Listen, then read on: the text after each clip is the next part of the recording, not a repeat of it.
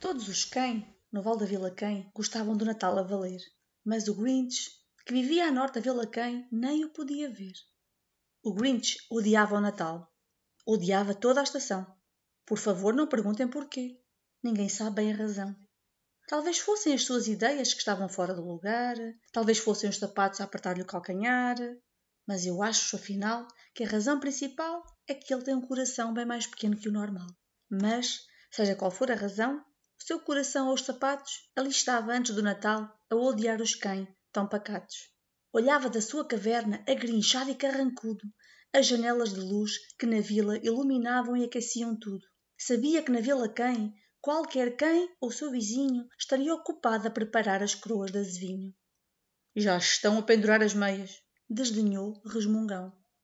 Amanhã já é Natal, já é Natal, pois então e a tamborilar os dedos grinchosos, rosnou entre dentes. Vou impedir que chegue o Natal e com ele os presentes, pois sabia ele, amanhã, todas as meninas e os meninos quem acordarão cedo para abrir as prendas que cada um tem. E depois, ai que barulho, que barulho, barulho, barulho, barulho. Essa coisa que ele odiava, o barulho, barulho, barulho, barulho. Depois os quem, novos e velhos, vão juntar-se num banquete. E que banquete! E que banquete! Um delicioso pudim-quem e peru quem acabado de assar. Duas coisas que o Grinch era incapaz de suportar. E aí fariam aquilo de que ele gostava menos. Lá na Vila Quem, todos os quem, os grandes e os pequenos, juntar-se-iam para ouvir os sinos de Natal a dobrar. E depois, de mãos dadas, os quem começariam a cantar. Cantariam e se cantariam. E quanto mais o Grinch pensava neste quem canta o Natal, mais o Grinch matutava. Tenho de acabar com isto, seja bem ou a mal. Já o aturo há 53 anos, se bem contei. Devo impedir que chegue este Natal, mas como será que o farei? E de súbito teve uma ideia. Uma ideia horrível. O Grinch teve uma ideia.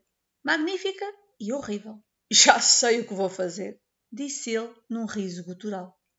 E improvisou um chapéu e um casaco de Pai Natal e riu com malandrice. Que belo truque! Tão bem engrichado! Com casaco e chapéu, sou um pai natal chapado. Só preciso de uma rena. O Grinch olhou em volta, mas, por serem tão escassas, não havia renas à solta. Será que isso o fez desistir? Não. E disse de forma travessa: Se não arranjo a rena, faço uma, ora é essa. Chamou o seu cão, o Max. Com o fio arranjado à pressa, atou-lhe logo um longo chifre bem no cimo da cabeça. Depois colocou no seu trenó escangalhado algumas malas e sacos sem nada. Enquanto isso, o velho Max seguia na frente, puxando a carrada. À rena! disse o Grinch, e o trenó começou a descida para as casas dos cães, que dormiam uma soneca bem merecida. Nas janelas não havia luz. A neve calma bailava no ar Todos os cães sonhavam doces sonhos de forma serena quando ele chegou à praça e à primeira casa pequena. Esta é a primeira paragem, sibilou o Pai Natal, engrinchado. E agarrando nos sacos vazios, subiu do tornó para o telhado. Deslizou pela chaminé. Não antecipava tanta estreiteza. Mas, se o Pai Natal por lá passou, o Grinch também, com certeza. Ficou preso só uma vez, por pouco mais que um segundo. Espreitou pela lareira, junto ao rebordo, lá do fundo e viu as meias dos pequenos cães, bem compostas e penduradas. Estas meias, sorriu, são as primeiras coisas a ser levadas. Então deslizou ao de leve, com um desagradável sorriso entre dentes, serpenteou ao redor da sala e sorripiou os presentes. Armas faz de conta, patins, bicicletas, tambores, jogos de damas, triciclos, pipocas, flores. Ensacou-os bem ensacados. Depois o Grinch malvado levou os sacos um a um da chaminé ao telhado e escapuliu-se até ao frigorífico, onde estaria guardado o banquete dos cães, o pudim quem e o peru assado. Num instante limpou tudo, não deixou peru nem nada. Na verdade, até levou a carne para quem enlatada. Depois, chaminé acima, enfiou alegremente a comida e disse num jogar: A árvore de Natal vai já de seguida. O Grinch agarrou na árvore e, quando começou a empurrar, ouviu um som ligeiro, como o de um pombo a arrulhar. Virou-se de súbito e viu uma quem bem pequenina. Era a Cindy Lou. Tinha apenas dois anos a menina. A pequena filha quem reparou naquela trapaça ao sair da cama para ir beber água de uma taça. Ela olhou para o Grinch e disse: Pai Natal, então, por que nos levas à árvore? Qual é a razão? Mas, como sabem, o velho Grinch era esperto a valer e arranjou de imediato uma mentira para dizer. Ora, doce menina, mentiu o Pai Natal desleal. Esta árvore tem uma luz que acende muito mal. Vou levá-la à minha oficina para a consertar lá. Depois, e de seguida, vou trazê-la para cá. O seu ardil enganou a criança. Depois fez-lhe uma festa e deu-lhe a taça com água e mandou-a acabar a cesta.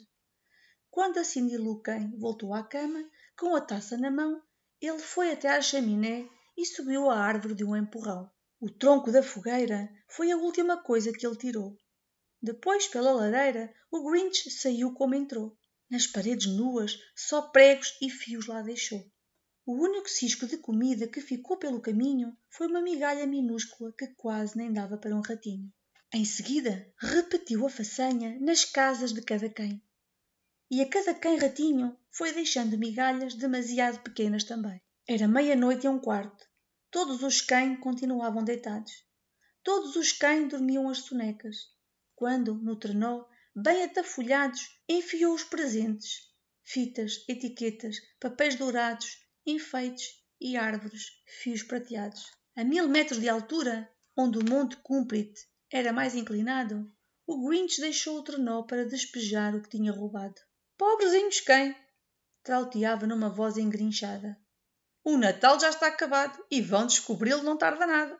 Estão a acordar e eu sei mesmo o que vão fazer. Ficarão de boca aberta perante o que irão ver. E depois os cães da Vila Quem irão gritar: Não pode ser! Esse é um barulho disse a sorrir, que eu quero mesmo, mesmo ouvir.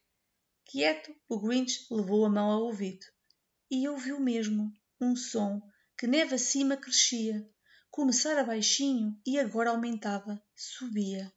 Mas não era um som triste, que estranho, soava alegre, um mistério. Não, não podia ser. Mas sim, era alegre, a sério. Olhou bem para a Vila Quem. O seu olhar era de espanto. Depois estremeceu o que via era uma surpresa e tanto. Cada quem, na vila quem, grandes e pequenos, cantavam, e sem prendas, que as prendas eram o menos. Ele não tinha impedido o Natal de chegar. E chegara. De uma forma ou de outra, chegara como outrora. Com os seus pés engrichados que a neve gelou, o Grinch estava perplexo. O Natal voltou. E voltou sem etiquetas, voltou sem fitas, voltou sem embrulhos, sem prendas bonitas. Esteve três horas a matutar no que observara. Depois o Grinch lembrou-se de algo em que nunca pensara. Talvez o Natal, pensou ele, não seja algo que está à venda. Talvez o Natal, quiçá, seja mais do que uma prenda. O que aconteceu depois? Bem, na Vila Quem, o que se dizia era que o diminuto coração do Grinch duplicara três vezes nesse dia. E logo que a sua afeição deixou de se sentir tão apertada, o Grinch zuniu com o saque pela luz brilhante da madrugada e devolveu os brinquedos e a comida do banquete adiado. E ele, ele mesmo, o Grinch, é que trinchou o peru assado.